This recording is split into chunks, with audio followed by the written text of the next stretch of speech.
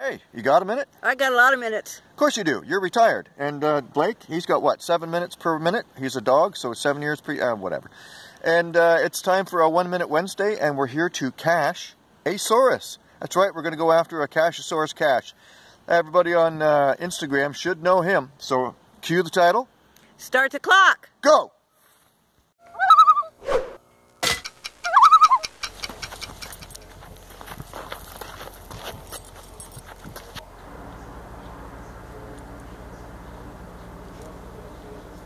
Okay, that's a pretty uh, quick park and grab for a nice Cachesaurous cache. Let's see if, Let's see if uh, Royalberries can find it.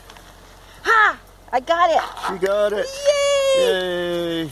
Let's see. Official geocaching. Cachesaurous. We got a Cachesaurous cache, Nice and Cachesaurous. I've got a bag of swag that I need to uh, drop off. So uh, we'll see what can fit in there. Here. Okay, uh, we got a, uh, a collection of, cr- I mean, uh, some goodies to add to the cache. Got a uh, Canada Remembrance Day. Well, that'll be good for it because it's coming up, or it was. Uh, Remembrance Day. Oh, I dropped a snail. And we'll put in a pencil and a London Westy pin and uh, a little clip and uh, some uh, golden thing. There we go. Add a couple things. And Royalberries is going to add a trackable.